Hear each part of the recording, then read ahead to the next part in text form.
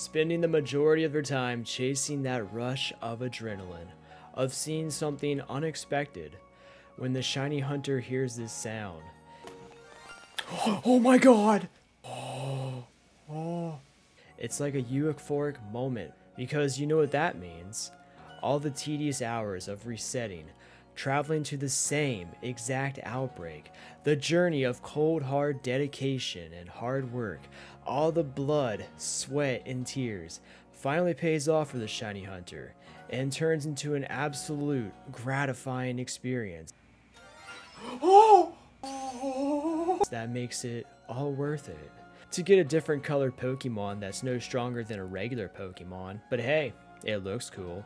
This later grows into an obsession that puts the shiny hunter on a mission to keep growing their shiny collection.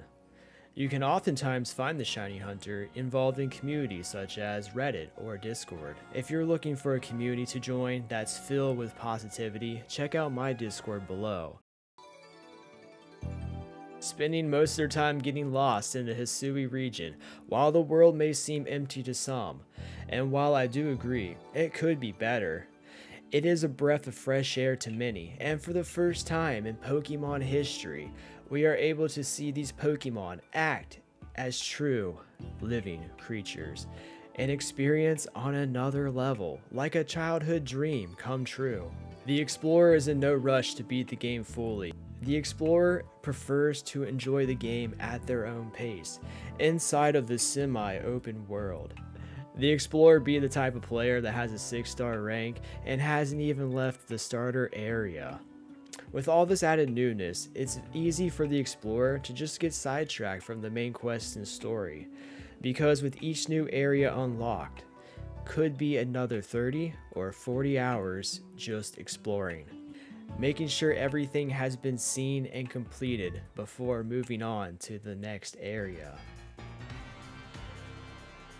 Spending the majority of their time in the Hisui region training and slaying Pokemon, or just bopping them in the back of the head. Seriously though, why is bopping Pokemon in the back of the head so much fun? The Slayer loves farming XP and raising Pokemon to be the best they can be. And one thing's for sure, the Slayer and Alpha Blissey, well, let's just say it, they're well acquainted with each other. The Slayer doesn't sell their grit items like some may do, but instead uses every last one of them to boost up their monsters. Someone once said, Pokemon are dangerous creatures. Well, the Slayer took that very seriously, and has now made it their life mission to be the strongest OP trainer by battling, defeating, and catching them all and gets a lot of pleasure from that. Not to mention a nice ego boost after kicking everyone's booty. The hustler's biggest goal here is to get rich. I mean, really rich. You'll find the hustler always thinking of ways to get more bread, whether it be farming alpha Pokemon, selling their XP candies to shopkeepers, spawning space-time distortions so that they can collect all the shards, and craft them into beautiful expensive star pieces to sell, or looking online for every bandit location so that they can easily get 4 nuggets to sell to the shopkeepers for an easy 40k a pop. And after hundreds of hours of labor and all the money saved up, the hustler can finally get what they've been hustling for all along and pays a visit to see the Tom Nook of Pokemon Legends and gives them a whopping $1 million to finally achieve his lifelong dream of having a maxed out satchel.